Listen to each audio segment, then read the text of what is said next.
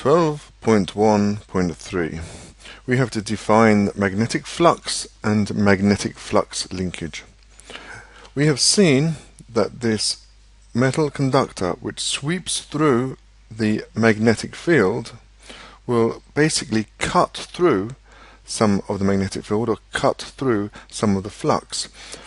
How much flux it cuts through depends on the area of this and that depends on the length of this metal bar, the conductor, the length of the conductor, also depends on how quickly this conductor is moving. So this is the basis of the, the next part. We remember that the electrons are being pushed down and we set up a voltage across here. This voltage, this EMF, this induced EMF will be equal to BLV. So the wire, the metal conductor, is sweeping through a homogeneous field, which means it's uh, the same everywhere. The, the, the field strength that doesn't vary. In a certain time t, it will sweep out an area A. And, and what does the A depend on? It depends on this length, it depends on this length. So this is length L, and this is the length that's uh, that the bar moves in a time t, which is going to be v times t distance is equal to velocity times time. So that's going to be vt. So the area will be the height times by the length here. So it will be L times by vt. So A is equal to LVT. If we rearrange to make V, velocity the subject, we get V is equal to A divided by LT. Remember, that the EMF is equal to BLV. The EMF is equal to BLV can be written, instead of having V, substitute in A divided by LT. So it's going to be BLA divided by LT. Now, this L and this L will cancel out. So we end up with the EMF is equal to BA divided by T. So it depends on the magnetic field strength, it depends on the area that is swept out by the conductor as it moves through the magnetic field.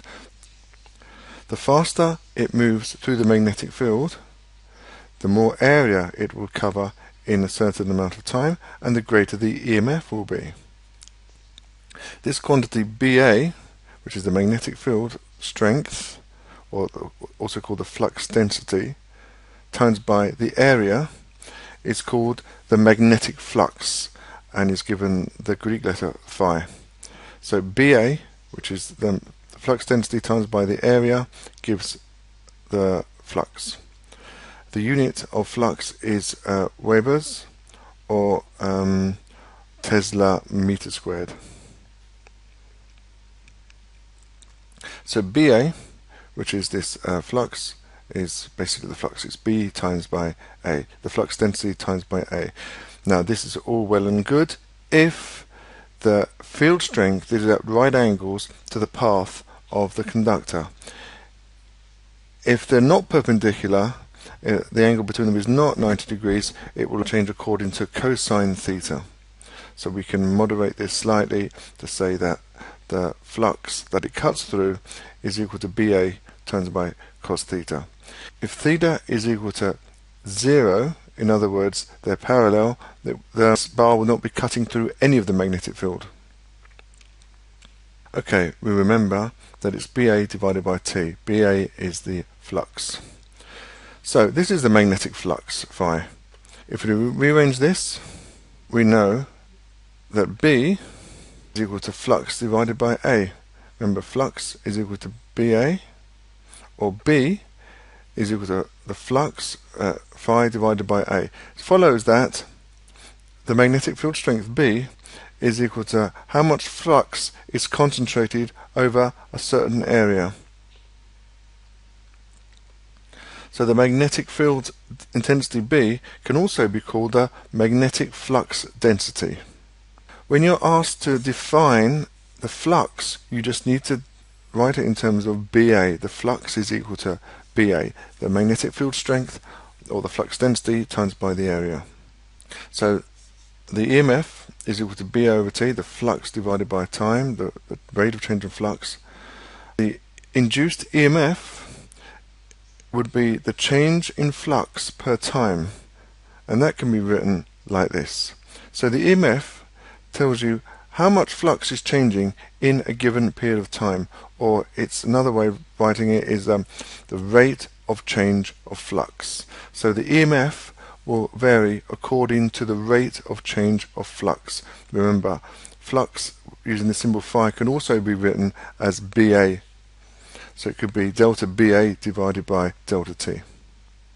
Describe the production of an induced EMF by a time-changing magnetic flux. So here we have again, this bar has moved to the right, and we have a, a voltage set up across this, and uh, it cuts through a magnetic field. There's a magnetic field here.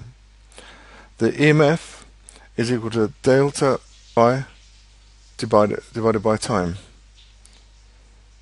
EMF is equal to the rate of change of flux, change of BA divided by time. The EMF is the rate at which the magnetic flux changes. So we have three terms here, B, A and T. So it depends on the changing B. The magnetic field near the pole of the bar magnet is stronger the closer to the magnet we are. If we move the magnet and the circuit relative to each other, we can affect the B value. So in other words, by bringing the, a magnet close to uh, a coil, we are changing the flux linkage. The magnetic field strength is um, becoming stronger because it's getting closer to the coil. Another way of doing it is by changing A. If you make the area which sweeps through the magnetic field larger or smaller, you can basically change the uh, EMF. The rate at which it changes will determine the EMF. Also, changing the flux. This can be achieved by rotating the loop or solenoid in a magnetic field, and this is most common in technical applications such as generators.